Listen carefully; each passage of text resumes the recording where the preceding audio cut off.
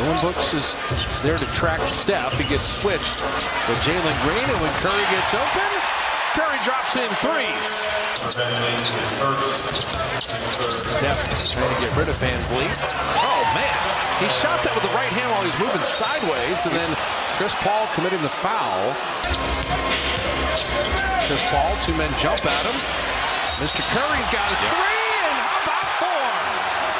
Three down, and a free throw coming.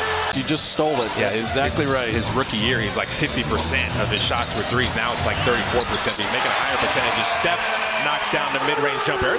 Taking care of the ball, getting shots up.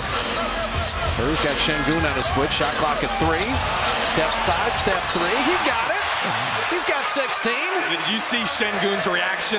You know, when the guy's moving, you can't just tackle him. Steph Curry. He had Brooks flying at him and still made that three. Get the ball inside. Here comes Chase Center a little bit. The fans have been a little pensive. Curry, three.